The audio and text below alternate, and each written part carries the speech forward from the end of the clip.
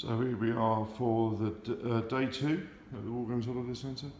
Um, Donald Featherstone tribute game, Battle of Blenheim. You can see, uh, lots of action.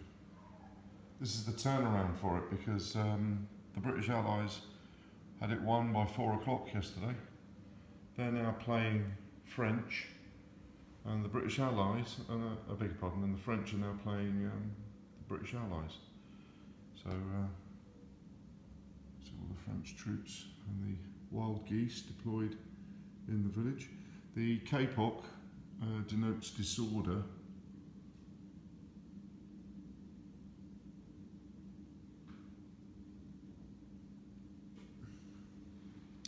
So as you can see, there's a, a lot of French and Bavarians on their their left, the Allied right. Village of Oberglau.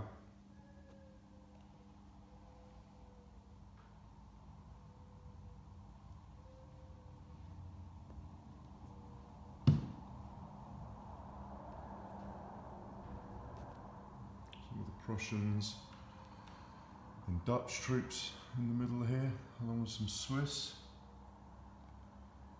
Going up against the French line. Oddly enough, there's the uh, Swiss and French service in their red uniforms. That's Blenheim.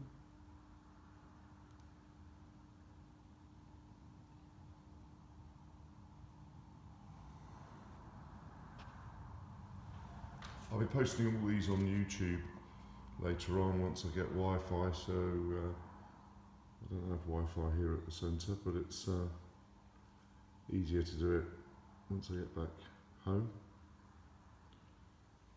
You see, this is for the reserves, but generally, yeah, they've all moved on to the cent- central table now. So there's probably 4,000 figures. It is, I think it's four and a half thousand figures, which is nearly all the collection.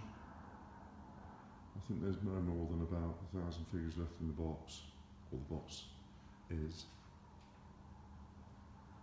Um, and I'm going to make some uh, further additions to it.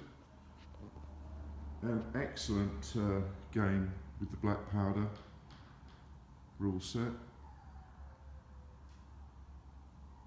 So I'll be doing a few more of these throughout the year, so uh, watch the website.